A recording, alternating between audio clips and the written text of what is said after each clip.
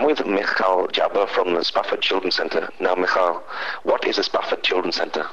Uh, Spafford Children's Center is like a center which provides service for children, youth, and mothers uh, in each in Jerusalem and also on the West Bank. Uh, because Spafford Children's Center is located in, in the old city, in Saadiya Quarter, and it's like a huge place for the old city, which can provide many services. Also, we have like outreach clinic in uh, in Taiba, Ramallah, and another uh, outreach uh, clinic in uh, Bethany for four days in a week. Uh, what is Spafford? We have like here three departments. We have like uh, culture department. We have like also psychosocial educational uh, department, and finally we have like the uh, medical department. So when was this place founded? It was founded 19, uh, 1925. It was like a, a house for like for, uh, I think for orphan people, and after that it was like a hospital.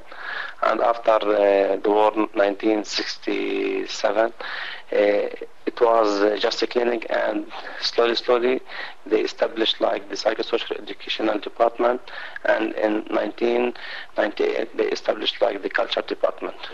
Uh, the idea is like to, to be like to give like a holistic like service for the children, so the child come here for vaccine, and after that if you have some some uh, social or psycho problem he will be here and the cultural activity is like to make him like more creative to find, and also to help him to find like how he can spend his time mm. in a good way yeah.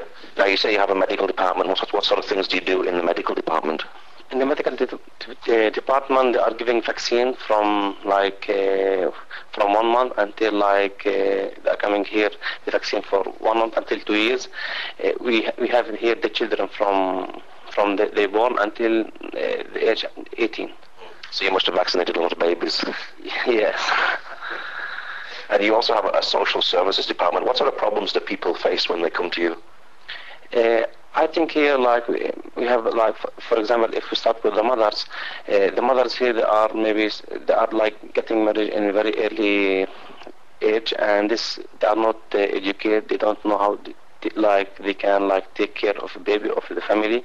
So we have like here courses for the mother to like to make him like awareness about their role in the society how they can uh, make like a good family.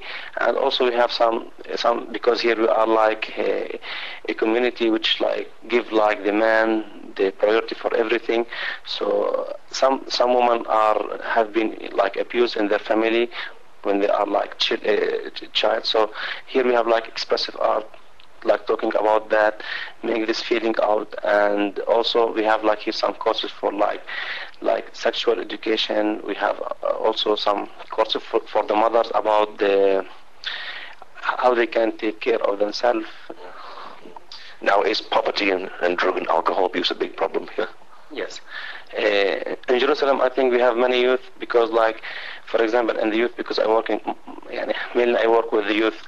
Uh, the youth, like in a very early age, they are going out of school because they can work in the Israeli part uh, in a very early age, like in the age of 16 he can have like a good money like me so uh, this money without like uh, one controlling this money so it's like a chance to like like to start know what is drug, alcohol. So many of our youth here, they are using like marijuana. It's like like a cigarette for them.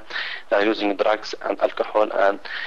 And in, in Jerusalem, we don't have like a contact because the Israelis are not aware about this problem, social problem, and even the Palestinians they can't like enter interrupt in these things. So uh, there is no no answer about that. So that's why we have many youth that are using drugs and we have many poverty because sometimes people they use they use not to work after like they have a family because they are lazy because they said that that the, the employee office they can give him some few money and this is the problem. Now the land is uh, violent sometimes. Does violence affect some of the youth here? I think violence it, it's a big problem. For example, like if you go to the like uh, here we have like uh, to the bus station, they're destroying the bus for everything. We have yeah, because like the bus station, it's like here it's founded for uh, very recently for two years, and if you go, most of the buses they are taking, they are uh, broken, they are damaging, so it's it's a violence. And in the schools we have many problem violence, and we have like. If, they are like against sometimes because I think uh, they watch the violence and no one talk with them how they can express the violence. We don't have many here centers which can like make them busy like in cultural activity in sport activity so they don't have uh, they don't have anything to do so I think the violence is it's what they do. Now you said you also have art therapy. Does the violence come through in the art that they do as well? Sometimes yes. You can see like here, for example, like in drawing, some children, if you draw what you want, he will draw like a wall. Some of them they're drawing like people like with guns, people like uh, uh, and abusing one child because here it's like uh, I, I, think in Jerusalem this problem we have uh, in Jerusalem many social problems, yeah, especially like the violence. So how does the art therapy help the children? Uh, art therapy is like give them chance like to like to draw what they are feeling about and after that they are talking about the thing that they, they draw they they have a discussion with each other with, the, with also like the teacher or like the psychologists working with them. So it's when they talk about it it's it's go out and after that they will find something to do like to make them busy like in Dabke and in anything. Now you also have special education department.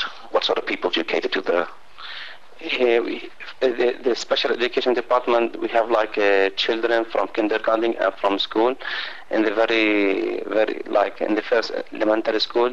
Uh, these children, we are they are coming from the school. We have cooperation with schools.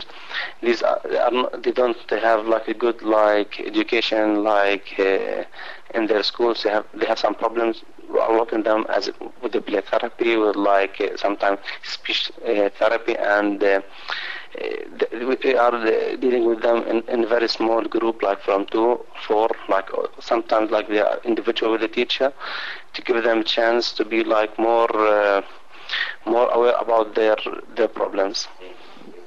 Now you also have a cultural department that teaches dance. What sort of dancing do you do? What sort of other things do you do with that? Uh, in the culture department, we have like uh, an activity like we have like a library for children. It's on Friday, uh, it's one, once a week for children, and it's like a, give them a chance for creative things.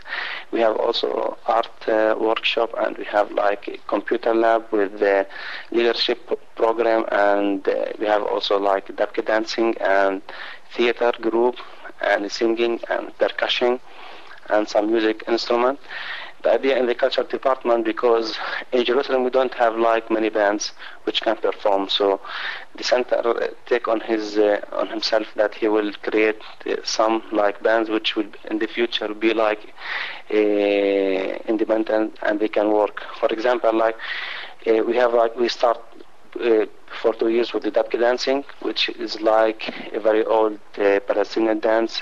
It's belong to the cultural heritage. It's also good because youth now they don't aware about the cultural heritage. They are they are far away for, for that. So by this dancing, because it's attract the, the boys and the girls because they dance together as as one group. So uh, the good in, the, in this thing that the people will be more aware about the cultural heritage and they can perform in the special events. And Spafford, yani, before last month, he succeeded to be representative of Jerusalem as first like first Dabke, and he participated like with the in the West Bank uh, competition, but they didn't succeed like to win. But for them, it was a, good, a very good experience, and now we want to make for children to make like very many group. Do they also wear traditional Palestinian dress when they dance? Yes, they, they should like wear uh, special uh, custom for that. But in Jerusalem, they are wearing like like as a Palestinian flag because in Jerusalem we can't like show the Palestinian flag. So if you see like the the, the Dabka custom, they will see like as a flag. I will show it to you. Why aren't they allowed to show the Palestinian flag in Jerusalem? because it's like political issue. They are not, uh, they can't like put, uh, because now Jerusalem is like the only city which under uh, the Israeli occupation, and for like political reason, they, they can't like put the Palestinian flag as on a t-shirt, like on their uh, house roof. So we think that it's a good idea that people also know know their flag. So why do you do what you do? You seem to do a lot of things here. So why do you personally do what you do?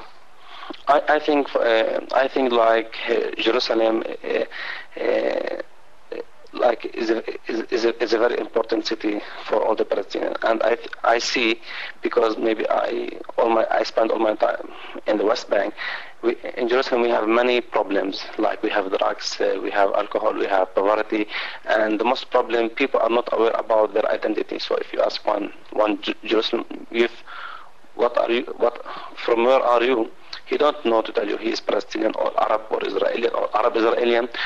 They are confusing about their uh, identity.